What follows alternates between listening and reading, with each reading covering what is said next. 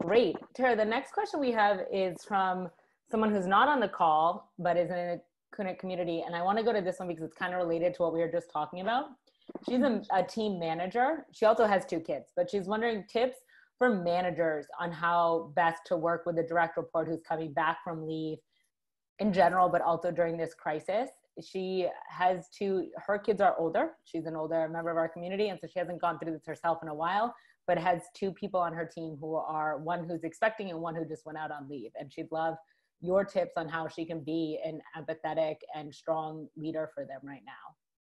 Yeah, I think just creating an environment where grace is honored and setting a tone that she understands that there may be interruptions from children or pets and other family members popping in and as long as deadlines are getting met and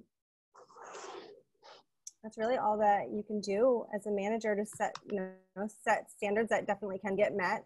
Deadlines should be able to get met. Important calls should be getting should be able to be met. Yeah. And then okay. just kind of letting everything else go yeah i think there's a lot of having to let things go. Yeah as long as someone's trying i think that's really all, all that we can do right now. Yeah. No absolutely